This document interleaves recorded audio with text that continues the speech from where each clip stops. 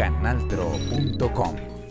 Muy buenas tardes compañeros en estudios. Hoy el alcalde de Bucaramanga le incumplió la cita a la Defensoría del Pueblo, los organismos de control y a los 28 empleados oficiales que se han declarado en protesta.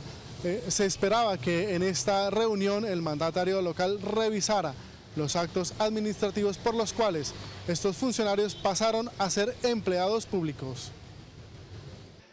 Aunque el alcalde delegó a dos asesores, la Defensoría del Pueblo y la Contraloría Municipal cuestionó la inasistencia del alcalde de Bucaramanga a una reunión donde se analizaría la situación de 28 empleados oficiales que se declararon en protesta.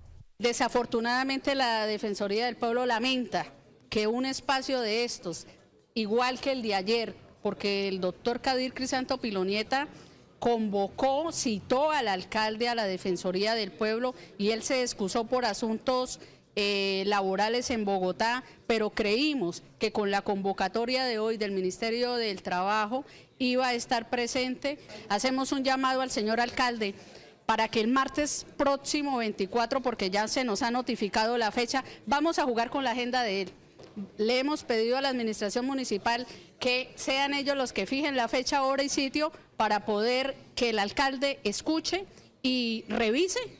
Voceros sindicales denunciaron que la administración municipal estaría utilizando de manera indebida firmas de los empleados en protesta como si fueran notificaciones.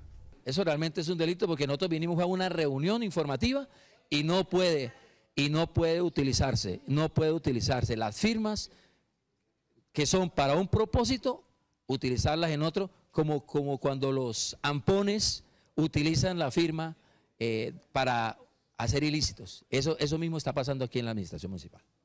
La Contraloría Municipal inició indagaciones y recibió quejas de los empleados para determinar si hay irregularidades en la resolución, donde el alcalde cambia la condición de 28 empleados oficiales a públicos. Así es, eh, gracias a las quejas que se han recibido a través de los ciudadanos, de los trabajadores, los sindicatos y a través de lo que se conoce a través de los medios de comunicación, la Contraloría ha venido o está desarrollando un proceso de investigación que permita establecer ¿cierto? a futuro si hay presuntos daños fiscales y que le terminará generando a los ciudadanos este proceso. Finalmente podemos indicar que esta cita fue reprogramada para el próximo martes esperando ajustarse a la agenda del mandatario local. Esto es todo por el momento, sigan ustedes en estudio.